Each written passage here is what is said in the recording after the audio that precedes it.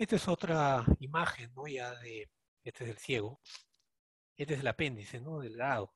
Y el diámetro es 4 milímetros en promedio, acá lo miden 3 milímetros. Es pequeño, pequeñísimo. Y estos son apéndices anormales, comparen, ¿no? Miren esta longitud, este diámetro transverso y miren este diámetro, las paredes endosadas, contenido heterogéneo dentro, colecciones de un corte transversal, colecciones alrededor, grasa aumentada, hiperecogénica alrededor. Entonces, para hacer una ecografía es mejor eh, hacerlo de una manera estandarizada, estructurada y catalogarlo así. ¿no? De acuerdo a las características que vieron, cinco categorías. Si tiene varias o ninguna, y diferenciarlo si el apéndice es visualizado o no lo es. Si es positivo, si es negativo, por ahí tiene algunas características. Si no fue visualizado, si tiene signos secundarios, la colección, la grasa, etcétera, o no los tiene, y lo pueden catalogar así, a, diferencia de poner solo positivo o negativo.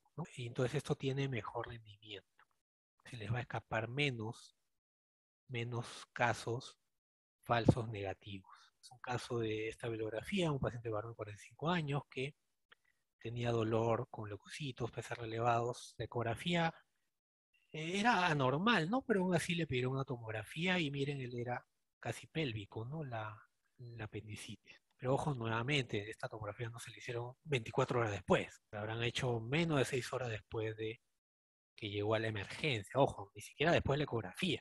¿Por qué? Porque tiene que tomar la decisión de operar o no operar. En 24 horas diría yo menos de 8 o 12 horas.